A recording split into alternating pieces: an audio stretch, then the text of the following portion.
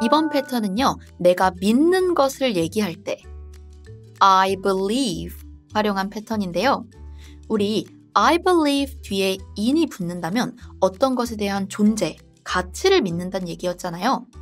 그런데 그냥 I believe 라고 온다면 나는 뭐뭐라고 믿어, 난 뭐뭐라고 생각해 라는 의미예요. 즉, 내가 사실이라고 믿거나 확신하는 일에 대해서 말하는데요. 예문 바로 확인해 볼게요. 나는 네가 옳은 결정을 했다고 믿어. 결정을 하다 라고 할 때요. 다양한 표현이 있는데 make a decision 이라는 기본적인 표현이 있거든요. 근데 옳은 결정을 했다고 할 때는 made the right decision 이런 표현이 있거든요. 응용해 볼게요. I believe you made the right decision. I believe you made the right decision. 이번엔 플러스 패턴까지 확인해 볼 건데요. I can't believe. 해석 한번 해보실래요? 그렇죠. 뭔가를 믿을 수가 없다라는 의미인데요. 사실 의역을 하면 아, 뭐뭐라니 말도 안 돼. 이런 의미가 되거든요. 즉 어떤 것에 대해서 믿을 수가 없다. 와, 이게 믿기지가 않아. 라고 얘기할 때 I can't believe. I can't believe 라는 패턴 쓰거든요. 복습 한번 해볼게요. 그가 그런 말을 했다니 말도 안 돼. 믿기지가 않아. I can't believe he said that. I can't believe he said that. Very good.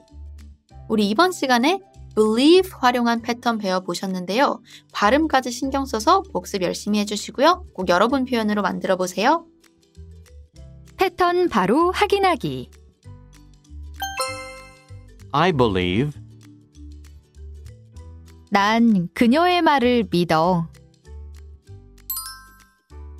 I believe her words. I believe her words. 난 내가 옳은 결정을 했다고 믿어. I believe you made the right decision. I believe you made the right decision. 난 이게 최고의 방법이라 생각해. I believe this is the best way. I believe this is the best way.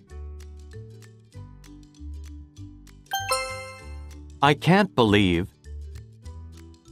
그가 에이미를 찾다니 말도 안 돼. I can't believe he dumped Amy. I can't believe he dumped Amy. 벌써 12월이라니 말도 안 돼. I can't believe it's already December.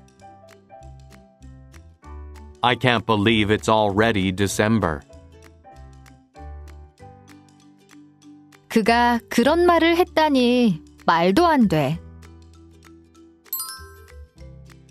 I can't believe he said that. I can't believe he said that.